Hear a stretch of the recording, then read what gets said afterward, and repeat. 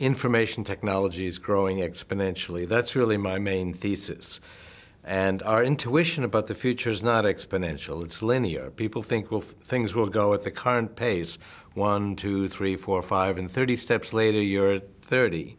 The reality of information technology, like computers, like biological technologies now, is it goes exponentially 2, 4, 8, 16. At step 30, you're at a billion.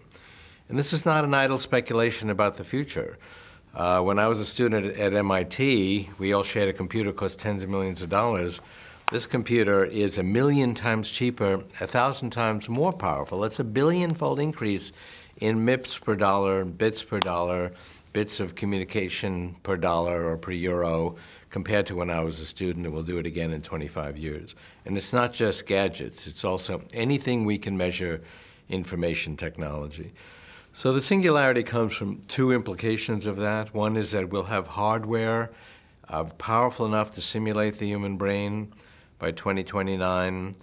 And the software, the intelligence that'll come with that is also expanding exponentially as we learn more about how the human brain works. And that's also an exponential progression. And I make the case we'll have human level intelligence in a machine by 2029. Now that's not the singularity. That's the beginning of it. Ultimately, that will continue to grow exponentially. By 2045, that non-biological portion of our civilization's intelligence will expand a billionfold. Our biological intelligence is very impressive, but it's fixed. It's not going to expand. Uh, so ultimately, we'll be dominated by non-biological intelligence. The merger has already started. I mean, First of all, this is not inside my body and brain, but it's pretty close. But there are people with computers in their bodies and brains. There are computerized artificial pancreases that act just like the real organ. And what started it was the Genome Project, and that was exponential too. Halfway through the project, the skeptics saying, this isn't working. I mean, here you are, seven and a half years into a 15-year project, and you finished 1% of the project. This is a failure, just like we said it was going to be. That's actually right on schedule for an exponential progression. You start out doubling little numbers.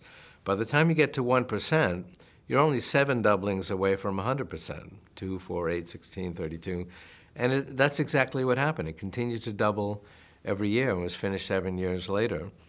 Uh, so that was an exponential progression. Are now reverse engineering the genome to actually understand how genes produce proteins and how proteins interact with three-dimensional simulations and so on, uh, that's also progressing at an exponential pace. So we've gone from hit or miss to where we can actually sit down at a computer and with a real model and simulation of, of human biology, actually design interventions just the way you would design a new aircraft on a computer. And it's a whole different era, and this will really gain fruit very dramatically in 10, 15, 20 years from now.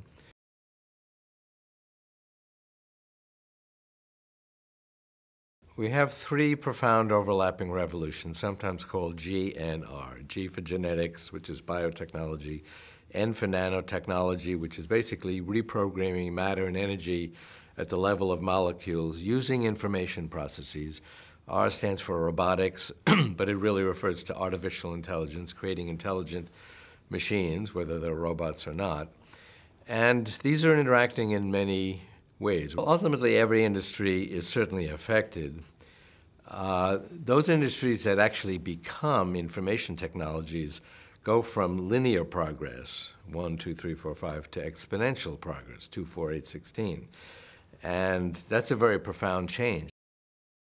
Health and medicine is now an information technology. In terms of business models, it's already stratifying into different types of firms de-risking projects at different levels. You have lots of little companies that sit down actually computer terminals and design new interventions, and they may take the drug through possibly just simulated trials and pass it off to somebody else, and then somebody does animal trials, and finally there's another set of firms that do phase one FDA trials and, and so on. I think these new drugs, as we really get into the advanced part of biotechnology, are going to be so much significantly better uh, that they're going to be less risky to try, and they'll go through more quickly. If something really works dramatically, the FDA can work more quickly. The data becomes obvious more quickly. It becomes unethical not to give people uh, the drug.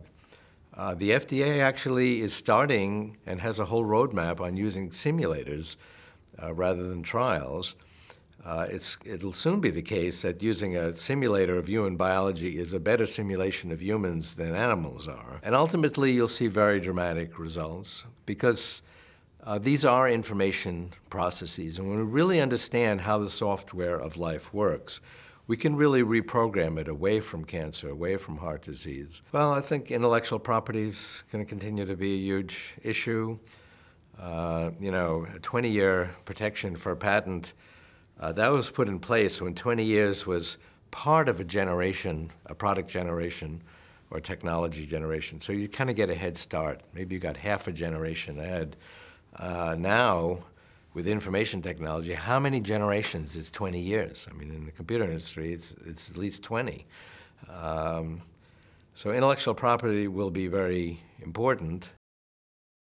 So Larry Page of Google and I were asked by the National Academy of Engineering in the United States to study the different emerging energy technologies and, and actually come up with a plan for the United States and the world for energy. And we looked at all the different emerging energy technologies. A number of them are interesting and promising, but one that's really very exciting and that's on an exponential rise is solar energy. It's been doubling every two years and it's doubled 10 times already, very smoothly if you look on a logarithmic scale, it's a very smooth uh, exponential rise. And it's only eight doublings away from meeting 100% of our energy needs. So I, I, presented this to the Prime Minister of Israel, and uh, he said, But Ray, do we have enough sunlight to do that with? Can we double eight more times? And I said, uh, Actually, we have 10,000 times more than we need. Uh, after we get done doubling eight more times in 16 years from now, uh, we'll be using one part in 10,000 of the sunlight that falls on the Earth. We could use, even with inefficient solar farms, uh, small percentage of the world's unused deserts, and there's a lot of them in the neighborhood of Israel, uh, and produce uh, enough energy for the world uh, with a resource right now that's not used, which is deserts, which have a lot of sunlight. I've talked to some of the leaders of energy companies in the Arab oil producing nations, and their belief is that they don't have an infinite amount of time. Uh, they think they have a couple of decades uh, where there'll continue to be tremendous demand for oil, and then they think other technologies will take over, and so their strategy is, in fact, to diversify. And you do see major energy companies making very large investments in these renewable energies, particularly solar. Electric cars uh, is the wave of the future, particularly as we find inexpensive ways of producing electricity, as we apply nanotechnology to more powerful and lightweight energy storage devices. Uh, we can actually uh, use the entire network of cars as an energy storage facility for, for society. And I also think self driving cars is coming. Most of the experts I've talked to who are working on this technology field were less than 10 years away from where this will be uh, a very common technology. That actually can save energy. We can put more cars on the road um, and make driving a more pleasant experience. Not, not to mention saving hundreds of thousands of lives per year, which are lost uh, worldwide to uh, car accidents.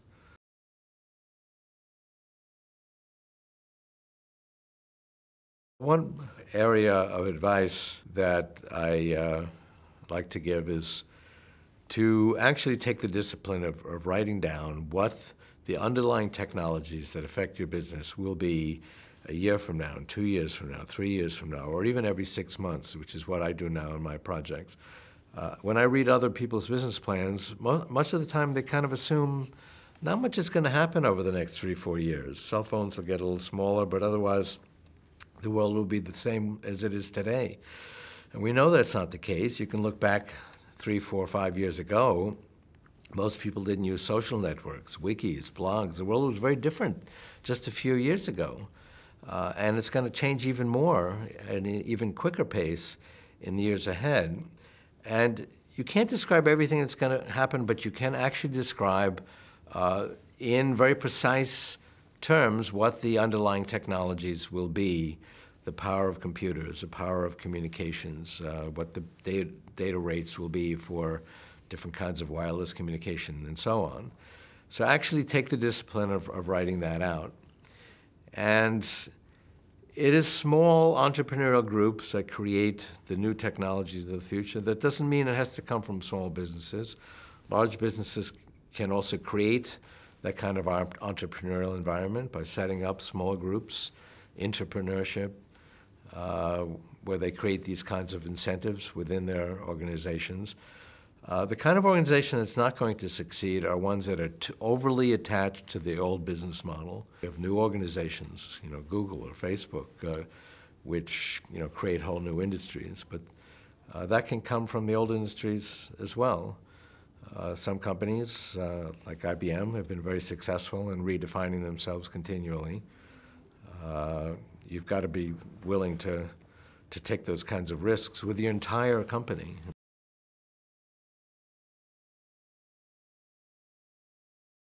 I think technology has been a double-edged sword ever since we had fire and stone tools and the wheel. I mean, fire kept us warm and cooked our food, but it was also used as an instrument of war. And these new technologies are quite powerful. Uh, the same technology that we can use to reprogram biology away from cancer and heart disease could also be deployed right now by a bioterrorist to, to reprogram a biological virus to be a new weapon. Uh, in fact, I brought that uh, specter to the U.S. Army's attention. I would argue strongly that the uh, constructive applications outweigh uh, the peril. You know, people sometimes uh, long for the good old days before technology wrecked our lives, and they're living in a dream world. I suggest that they read Thomas Hobbes or even Charles Dickens as to how incredibly harsh and difficult and cruel uh, life was only two, three hundred years ago. So we've made a lot of progress. Uh, there's still a lot of suffering to, to overcome. I don't think it's, uh, it's accurate to say that these technologies are the province only of the wealthy. People say, oh, only the wealthy will have access to these tools. And I say, yeah, right, like cell phones. Uh, that you know, five billion people have cell phones. Say 30% of Africans, half the farmers in China. By the time the technologies are very powerful and work really well, they're in almost everybody's hands, and it's going to be true of these health technologies as well. In fact, you can look at AIDS drugs. They were $30,000 per patient per year 15, 20 years ago and didn't work very well. And today in sub-Saharan Africa, it's $100 per patient per year, and they work actually pretty good, pretty well uh, and people are getting them. Uh, so at any one point in time, there's a, a have-have-not divide, but the technology itself is moving in the right direction. Ultimately, these will, will be very widespread technologies, whether it's poverty or the environment and energy or disease and longevity. Uh, the answers to these challenges lies only in these exponentially growing information technologies.